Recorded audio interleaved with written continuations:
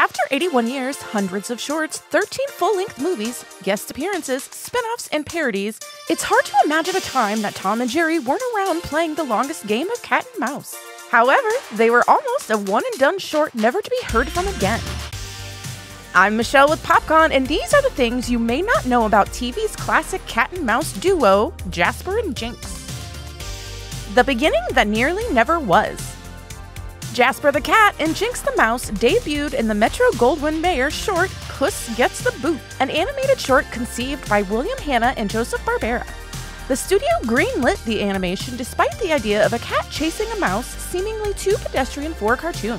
At the time, the studio was looking for more traditional fare of anthropomorphic animals doing stupid human tricks like Flip the Frog as a barber, or humans doing stupid human tricks like Willy the Whopper getting into an airplane race as they chase Disney's success in animation. In the fight to best Disney, MGM started looking for their studio creatives to build out new characters, and that's when Barbera suggested he and Hanna do a cartoon of their own. They decided on a cat and mouse, two equal characters in constant conflict. Puss Gets the Boot would go on to be nominated for an Academy Award.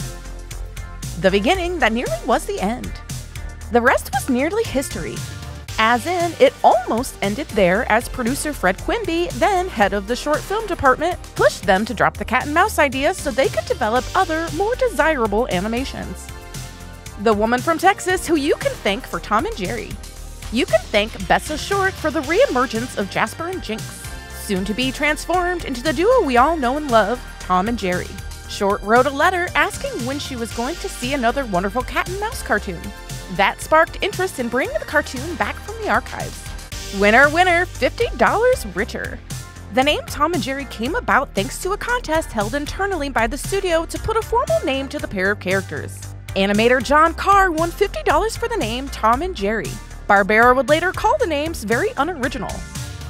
And then you later find out it didn't make a difference what the name was. The thing is a success. You were at home. Gene Kelly gets down with King Jerry.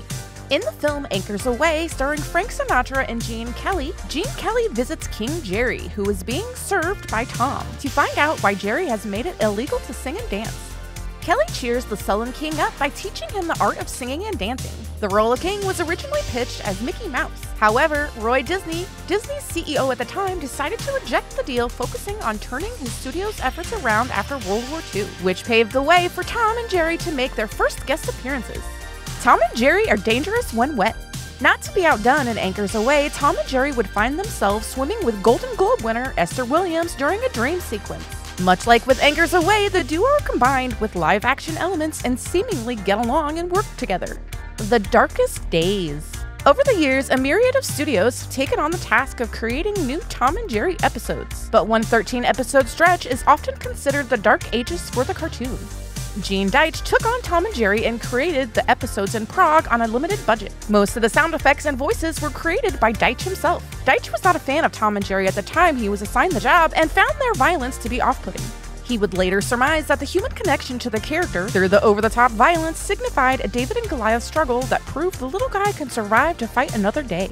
These episodes are some of the strangest in the series. The animation was often jerky, the sound effects hollow, and with an eerie echo, and the stories often took place outside the comforts of the traditional house. Once the 13 episodes were completed, Deitch's team was not renewed to create more, and the producer who greenlit Deitch's team was fired from the studio.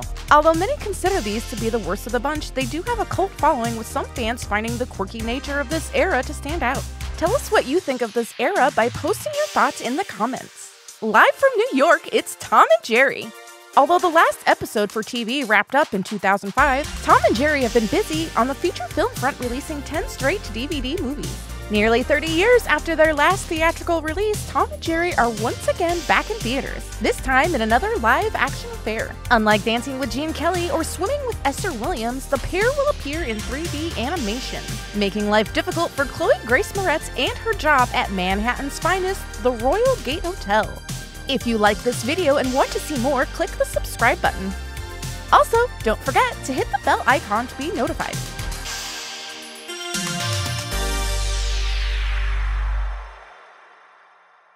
Tell us what you think of this Arab uphouse.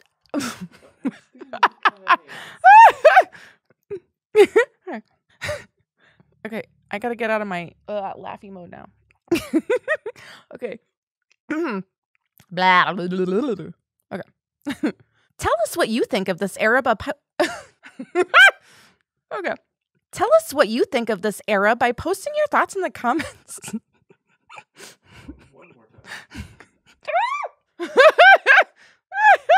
okay.